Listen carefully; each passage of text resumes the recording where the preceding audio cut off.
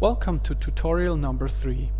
In this tutorial we are going to learn how we can use image files to drive any CGA parameter for the building generation. Now what is a parameter? Let me generate this building and we see that it is extruded to a specific height. This height is actually defined as an attribute so I can really go in and edit this value. The default is 80, defined in the rule file, as we see here, 80 meters. So let me quickly go back to the default. Now it could be tedious since all of the buildings in the whole scene may have a different value. I don't want to go in and edit all the all the values of all the all the different buildings just because the default is here set to 80. I could now go in obviously and define this um, as a random value between, for example, 30 meters and 120 meters and regenerate all the models with Control F5 but nevertheless this may not be very realistic. So let's find out how we can use a, an image file to actually drive all these um, building heights much better and much more intuitive. So let's go in and create a new map layer. Layer, new map layer of the type mapping.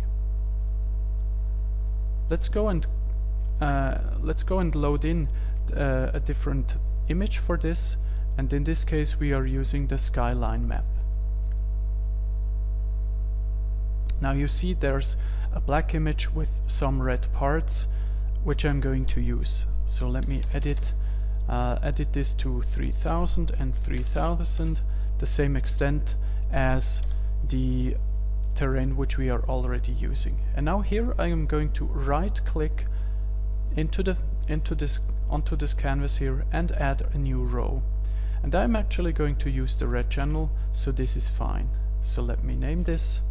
This is the uh, let's say skyline value now, since, since we want to put all the building heights in a certain range, I'm going to choose a minimum value here, which is 80, and a maximum value, which is 200. So let's say finish. And behind we see it, this layer has been generated. So let me quickly hide the terrain here. And there we are. Now select, let's select this layer again, it is called mapping and let's name this guy skyline map layer. Okay. Now down here you see the CGA attribute which we have just created before. Skyline value sampling the map 01 in the red uh, in the red channel and mapping the values between 18 80 and 200. Now let's go in and select all of these shapes here and drive the height for all of these buildings uh, in another way.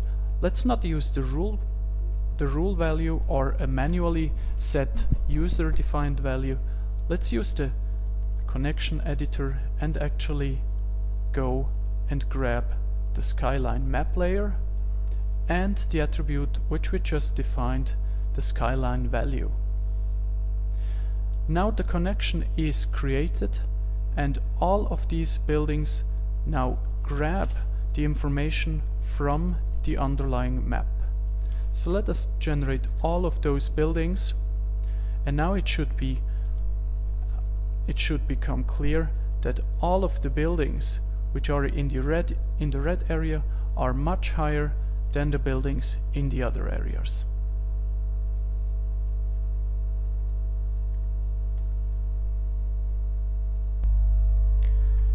In this second part of the tutorial we are talking about how we can control land use types with map layers.